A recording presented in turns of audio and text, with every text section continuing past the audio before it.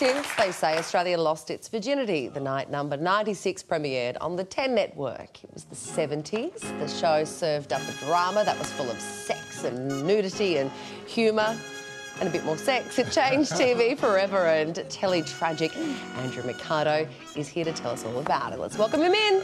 Yay!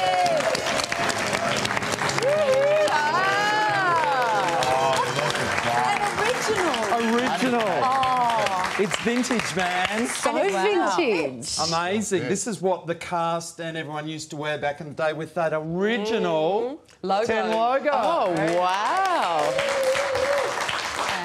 Andrew, how different was the TV landscape before number 96 premiered? Well, before number 96 premiered, nobody actually knew whether anyone would watch an Australian drama every night of the week. There was really only Homicide and the cop shows. Bellbird. Bellbird, yes, on the ABC, The Country Town, and then number 96 came along and really shocked everybody with its very adult sexual frankness. And as you say, it was very racy. It was full on.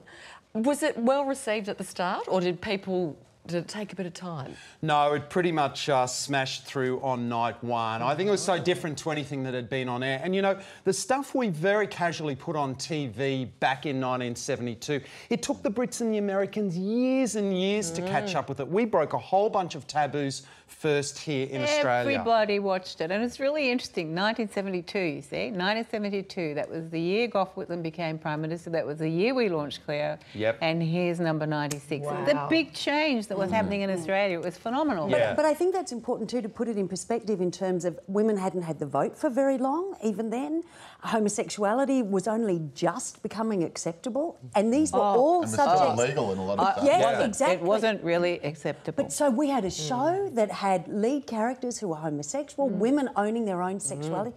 What was the motivation for Channel 10 to put this outrageous show on? Well, Channel 10 uh, decided to gamble big and it paid off even bigger. Uh, back then, they really weren't competing against 7 and 9. They knew they had to do something really big so that they could have some buying power to buy other shows. And really, uh, Number 96 worked so well, it put this network on the map. Actually, they got two really big things and showed them on television. now there was a movie that create the box. Was ten the box as well, which yes, followed. Yes, yeah, but then the Crawford... box came pretty soon after number ninety six. That yeah. was that was put that's put slightly more sophisticated. Yeah, so then they had the two shows together. Yeah. Can, can you imagine a show that broke breaks so many taboos nowadays? Mm. Look, is, is, there room for Most taboos have probably been broken, but you know what? Uh, this show was launched in braver times. I think mm. free to air networks would be scared about mm. putting a show I like agree. this on. Yeah. I, th- I actually yeah. think if you showed a show that was note for note almost identical to number 96, it would be shut down almost immediately in a sea of social media outrage. Mm. Probably. Yeah. Almost but why haven't they reshown it? Because it'd be fabulous to see Well, it. a lot of the black and white stuff is actually thrown out, which is oh, really tragic. You had one job, library.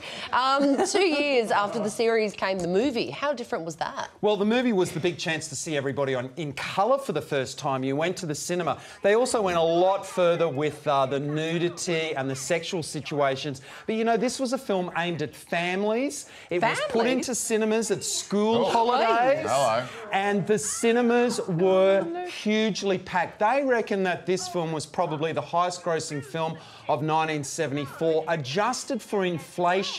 This film, which was made for less than $100,000, went on to make in today's money $37 million.